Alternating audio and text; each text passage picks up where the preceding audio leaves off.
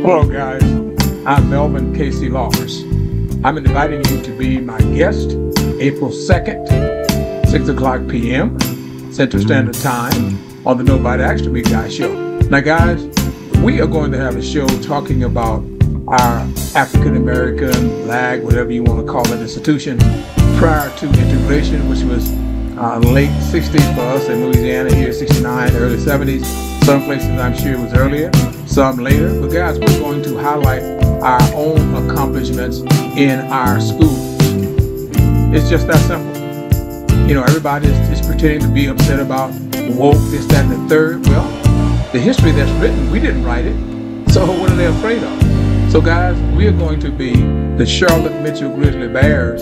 We're going to have us a program, but I'm challenging the entire country to post videos, uh, post pictures, etc., on your school's accomplishments. Athletics are great. We all love athletics across the country. However, we want to talk about our entrepreneurs along with our athletes. We want to talk about our business people, our inventors, uh, the, uh, the whole gamut. Because as we all know, it's just a waste of breath and a waste of time for people that decide that they are superior when they already we to tell our own story. I tell my wife all the time that it's our generation that dropped the ball.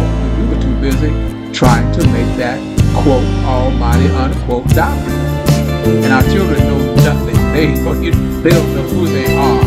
Sadly, some of us may not know who we are. And so guys, let's do this. I'm serious. I'm challenging the entire nation to post videos, to post pictures, to talk about your schools pre-integration. No one is hate anyone to love yourselves. That's not what we are about.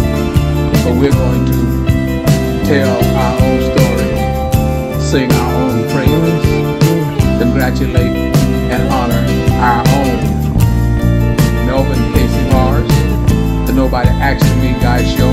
Join me April 2nd, 2024, 6 o'clock p.m. Let's make it happen.